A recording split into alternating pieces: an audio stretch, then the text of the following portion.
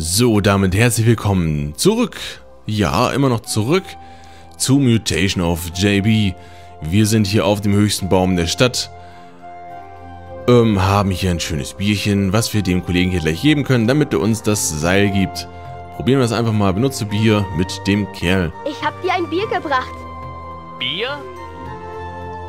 Sagtest du Bier? Ja. Ja, ich habe ein Bier gekauft. Her damit. Ich darf also das Seil mitnehmen? Ja, du darfst. Gib nur endlich das Bier her. Das Bier ist ja warm. Fast heiß. Willst du mich vergiften oder was? Entweder bringst du mir ein gekühltes Bier oder lieber gar nichts. Das Seil bekommst du für dieses Gift nicht. Hm. Ach, schade. Nur weil es ein bisschen warm ist, sollte mir, sich, sich mir nicht so anstellen.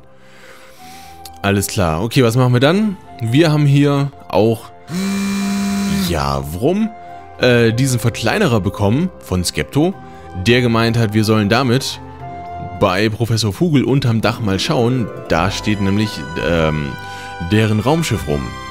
Ja, was sie zerkleinert haben. Und ja, wir sollen das zusammenbauen. Und der Dachboden ist natürlich über dem ersten Stock, nicht über dem Erdgeschoss. Daher gehen wir einmal hoch. Und genau, hier gehen wir einfach mal weiter. Ja, wunderbar. Immer noch weiter, denn wir haben uns... Wir wissen noch, hier rechts ist ein Mauseloch. Da gehen wir einfach mal mit Hilfe des Verkleinerers rein. So, kleinerer, Mauseloch, zack. Und da sehen wir schon ganz anders aus. Oh. Ich wusste gar nicht, dass Mäuse so gut eingerichtete Wohnungen haben. Gut, dass diese hier schläft.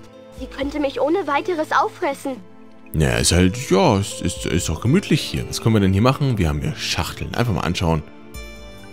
Ich habe noch nie so viele geklaute Schachteln gesehen. Ja, nimm die nochmal selber mit. Gestohlene Waren stehle ich nicht. Ach so, na gut. Ähm, was haben wir denn noch? Wir haben natürlich hier eine Maus. Eine riesige braune Maus. Sie schläft gerade. Die ist aber nur riesig, weil du selbst gerade klein bist. Kannst du damit reden? Ich will damit nicht reden. Mann.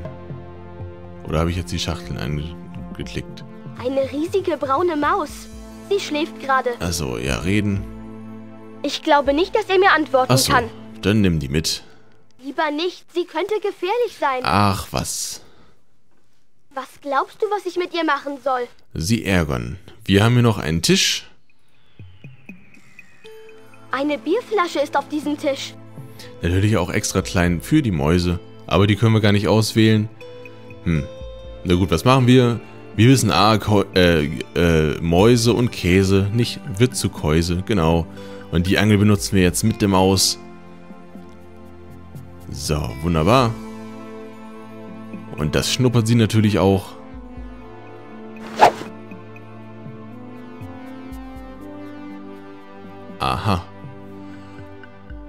Da hängt die Maus.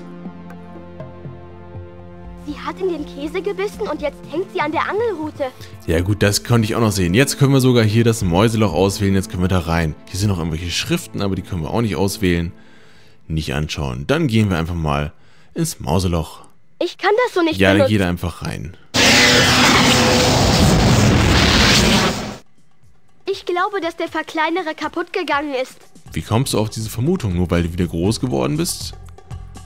Ich weiß es nicht. Das Mauseloch können wir auch nicht mehr auswählen. Wir sind jetzt hier anscheinend in einer Küche. Hat es so, also sieht zumindest so aus, ne? So schön vollgestellt, hier mit Tischchen und so. Und hier ist eine Gabel. Wunderbar. Mitnehmen. Eine schmutzige Gabel, die jemand in den Tisch gestochen hat. Also ja, dann nimm die mit. Ist immer schön. Kann man immer gut gebrauchen, so eine Gabel. Vor allem, wenn sie schmutzig ist. Hat man noch, falls man mal Hunger hat, was zu knabbern. Schauen wir uns den Mixer an. Nur ein elektrischer Mixer. Ja, dann benutzt den. Einen leeren Mixer sollte man nicht einschalten. Dann nimm den mit. Wenn ich etwas zerhacken will, dann kann ich jederzeit herkommen und es hier tun. Ich brauche also diesen Mixer nicht mitzuschleppen. Ja, aber eine Autobatterie kannst du mitschleppen. Also ein Sägefisch, hier so ein Augenschließer, der auch nicht gerade klein aussieht. Alles klar. Und genau, das kalte Bier benutzen wir, denn hier ist auch ein Kühlschrank. Ein Kühlschrank. Nichts Außergewöhnliches. Nein, dann benutzen wir das Bier mit dem Kühlschrank. Sei nicht faul und öffne zuerst den Kühlschrank. Wir öffnen zuerst den Kühlschrank und benutzen dann das Bier damit. Ich tue das Bier in den Kühlschrank, um es etwas abkühlen zu lassen. Das klingt sehr logisch. Einige Minuten später.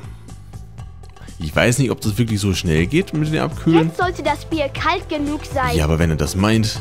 Ich meine, ich fühle das ja nicht, ne? Er hat ja da die Hände oder eher die Pfoten oder was auch immer.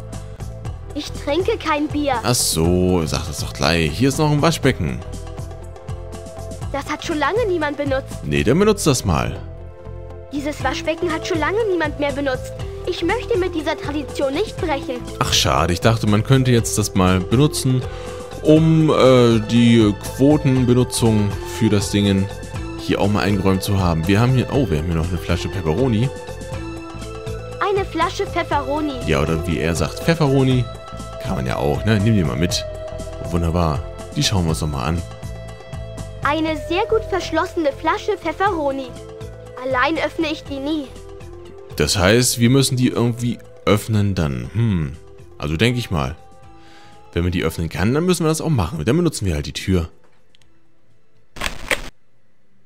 Und dann gehst du da mal rein. Ah, wo sind wir denn hier? Ich ersticke bald. Ja, sehr gut. Ist da etwa jemand? Was hinter dieser Tür steckt, würde ich auch dann riechen, wenn ich Schnupfen hätte. Ich weiß nicht, Ich ersticke bald. Jetzt unterbrich mich nicht. Was hinter dieser Tür steckt, würde ich auch dann riechen, wenn ich Schnupfen hätte. Ich weiß nicht, wozu man es auch noch an die Tür schreibt. Hilfe! Ach, Junge, lass mich ausreden. Machen wir ihm gleich das Licht aus. Man schaltet damit das Licht in der Toilette ein oder aus. Dann mach es aus. Ich schalte das Licht lieber nicht aus.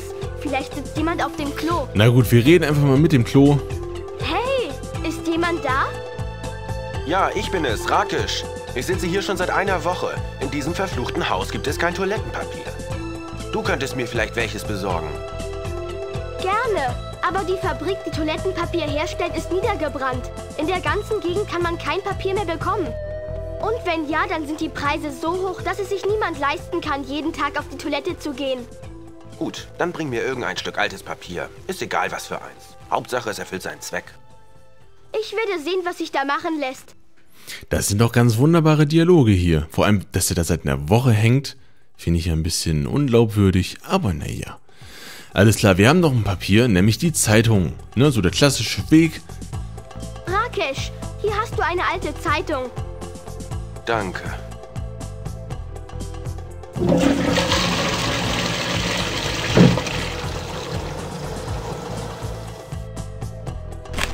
Endlich wieder frei. Noch ein paar Tage und ich wäre dort erstickt. Das ist ja auch ein schönes Poster an der Tür. Ich danke dir. Du hast mein Leben gerettet. Entschuldige, ich habe mich noch gar nicht richtig vorgestellt. Mein Name ist Rakesh Rutis. Ich arbeite als Elektromechaniker. Ich kann fast alles reparieren oder basteln. Ich heiße Johnny. Ich wollte meinen Cousin besuchen, aber er war nicht zu Hause. Ich bin zufällig Professor Vogel begegnet und er hat mich in ein Schwein verwandelt. Leider haben ihn die Außerirdischen entführt. Und wenn ich kein Ferkel bleiben will, dann muss ich ihn finden und befreien. Und wie willst du zum Planeten der Außerirdischen fliegen? Mit einem Raumschiff natürlich. Oder hast du eine bessere Idee? Ich weiß nur leider nicht genau, wie man in diesem Ding fliegt. Wenn du damit Probleme hast, kannst du mich jederzeit mit diesem Sender erreichen. Vielleicht kann ich dir helfen. Danke sehr. Ich danke dir. Den Gestank auf der Toilette hätte ich nicht mehr lange aushalten können. Also gut, ich muss jetzt aber gehen. Ich habe noch sehr viel zu tun. Und vergiss nicht, wenn du Hilfe brauchst, dann einfach auf den roten Knopf des Senders drücken. Gut, ich rufe dich ganz bestimmt an. Ach, was sind das schöne Dialoge hier. Diese Naivität, ne? Das, äh. Der stellt sich vor, er stellt sich auch vor, erzählt seine ziemlich unglaubwürdige Geschichte und der andere fragt nicht mal nach, nimmt das alles hin und fragt, wie wir auf den Planeten kommen, obwohl wir den gar nicht erwähnt haben. Ich find's super. Okay, schauen wir uns hier noch weiter um. Hier, wo der Kerl hin ist, da kann man noch nicht mal was auswählen. Also der ist einfach verschwunden. Naja, hier ist noch eine Schachtel. Eine einfache Schachtel. Ja, dann benutzt die. Diese Schachtel ist nur als Dekoration gedacht. Lass sie also in Ruhe. Nein, ich möchte die mitnehmen. Schwer und nutzlos. Ja, das sagen sie alle. Dann können wir jetzt noch die Toilette benutzen. Es stinkt dort. Ich will da nicht rein. Stell die nicht so an. Okay, was haben wir hier noch? Hier sind auch diese Pflänzchen oder andere. Wir haben hier eine wunderbare Trophäe. Vogel ist wahrscheinlich der einzige Mensch auf dieser Welt, der nach der Jagd ein Bein als Trophäe mitbringt. Das weißt du doch gar nicht. Ich sammle keine Trophäen. Ach, schade. Dann benutzen. Was soll ich mit einer Trophäe machen? Ja, keine Ahnung. Hätte man, äh, ja, überleg dir halt was. Benutzt die Tür. Wo kommen wir da hin? Ach so, alles klar. Wir sind jetzt hier wieder in dem Flur. Aber wir gehen wieder zurück, denn hier hinten ist noch eine Tür. Wir möchten natürlich überall erstmal rein, damit wir gucken können, was wir alles finden können. Ich wette, dass sich hinter dieser Panzertür das Raumschiff befindet, das der Außerirdische erwähnt hat. Du meinst nur, weil der Top Secret steht? Könnte natürlich sein. Eine sehr stabile und feste Panzertür. Alles klar, dann benutzt die. So einfach öffnest du eine Panzertür wie diese hier nicht. Ach, schade. Dann nimm die halt mit. Sie wiegt mindestens 80 Kilo und ist an der Wand befestigt. Ach, alles nur Ausreden. Als ob wir uns von der Panzertür aufhalten lassen. Einmal hat es ja schon funktioniert, aber ich glaube nicht, dass wir die nochmal aufhebeln können. Das wäre ja auch ein bisschen albern. Nein, falsch. So. Ich kann das so nicht benutzen. Ja, guck an. Was haben wir hier denn noch? Wir haben hier noch einen Spiegel. Wunderbar. Nichts Interessantes. Dann nimm den einfach mit. Kann man ja immer gut, gut gebrauchen. So ein Spiegel. Eine Steckdose. Sensationell. Uninteressant. Ach, was, ich finde die super spannend. Da kann man was reinstecken und dann kommt Strom raus. Was haben wir noch? Wir haben eine Katze. Es ist eine mechanische Katze, die konstruiert wurde, um Mäuse zu fangen. Alles klar, wir haben also hier eine mechanische Katze und wir haben im Inventar auch eine mechanische Maus. Ist doch wunderbar. Vielleicht kann man die damit benutzen. Ich glaube nicht, dass sie auf irgendetwas reagieren wird. Warum nicht? Schauen wir uns die noch, noch mal an. Ach, hier ist ein Deckel. Ein einfacher Deckel. Ja, benutzt den. Tada, schon geht das Ding auf, schon haben wir da eine Öffnung. Fehlt dort. Wenn ich nur wüsste, was. Das könnte man ja herausfinden. Wir haben ja, also wenn, ne, ist ja eine mechanische Katze, vielleicht braucht sie ein bisschen Strom. Wir haben ja hier die Autobatterie. Man weiß ja nicht. Ich glaube nicht, dass das der fehlende Teil der Katze ist. Ach so, schade. Na gut, haben wir noch was, irgendwas Sinnvolles? Wir können natürlich die Säure reinkippen. Ich glaube nicht, dass das der fehlende Ja, Teil aber der so Katze ganz ist. genau wissen wir nicht, was wir da reintun sollen. Haben wir noch was? Ich glaube nicht. Okay, wir überlegen uns was für die Katze. Ähm, ja, achso, inzwischen in einem anderen Teil der Stadt. Endlich wieder draußen. Wenn ich das Ferkel, das mich in die Kanalisation geworfen hat, in die Finger kriege, dann bringe ich es um. Aber vorher muss ich etwas zu Hause auf Ladea erledigen. Hoffentlich hat man da meine Nachricht erhalten und sie schicken ein Raumschiff, um mich abzuholen.